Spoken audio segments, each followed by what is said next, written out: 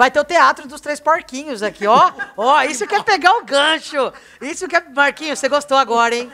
Você quer pegar o gancho, vai ter os três porquinhos aqui. Eu estava esquecendo da peça. E vai ter os três porquinhos aqui. Vai ser no Teatro Municipal, dia 23, no sábado, 3 horas da tarde. Então você que tem filhos, ou você que gosta da história dos três porquinhos, você pega o gancho, vocês gostaram. Vai ser muito bom. É. E aí você vai. Eu não sei mais informações. Deixa eu entrar aqui pra ver. Entrada free? Se é entrada free, deixa eu entrar aqui para Aonde que saber. Vai ser Mas no legal, né? Teatro o Municipal. teatro voltou. O teatro aqui de Cerquilha é Ó, muito bom. Nossa tem- estreia já tem data, lugar e hora para boa. acontecer. Estão oficialmente abertas as vendas dos ingressos no site da Mega Bilheteria. Então, deve ser uma taxinha aí, deve ter aí para você comprar. Numa família de porcos, três irmãos vivem em pé de guerra.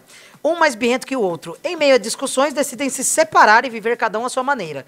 Mas o que eles não contavam é que nessa aventura de morar só, iriam se deparar com o famoso lobo mau, que os fará perceber o quanto se amam e precisam um do outro. Tá bem legal a história aí, ó.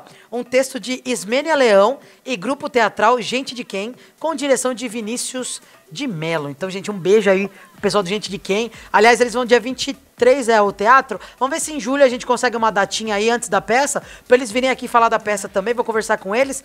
Para mais informações, entre em contato com arroba Gente de Quem no Instagram ou ingressos pelo site megabilheteria.com. Gente, muito legal, vale a pena e prestigia aí que a galera é daqui da cidade.